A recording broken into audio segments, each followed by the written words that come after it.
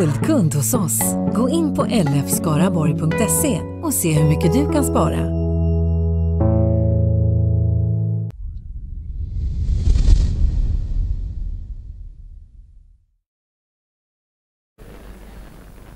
Ja, Patrik Liljestrand, trots att ni gör säsongens bästa match så var ni oerhört besvikna efter förlusten mot Alingsås. Ja, vi har ju några domslut emot oss här i slutet. 20-22 sekunder från slut så är det ju solklart styrmefall. Och, och Alingsås får tillbaka bollen och gör mål då, va? Så det, var, det ju klart, men det känns tungt.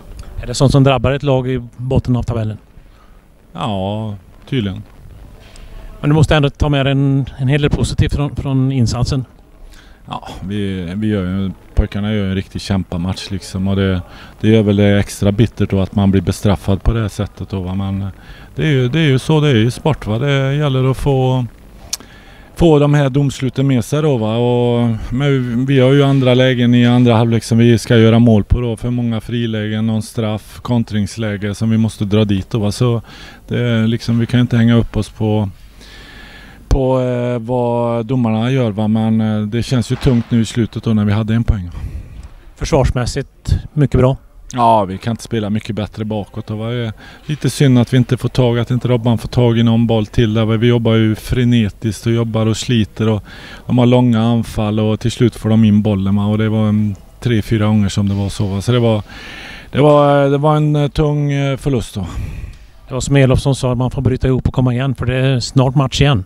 Ja, det är inga problem. Det gäller att man inte hänger med huvudet och vet att man gör det som vi har gjort bra. Va? Och det ser ju bra ut bakåt då. Va? Det gäller att vi drar dit bollarna också.